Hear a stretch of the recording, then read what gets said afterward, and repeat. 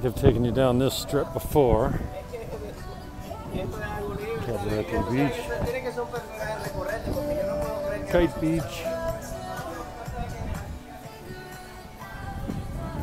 At night, this turns into a beachfront nightclub. A lot of these places are packed.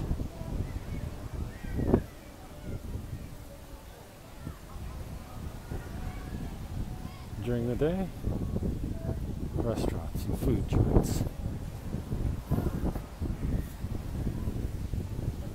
I'm headed to Lax Ojo for a bacon cheeseburger.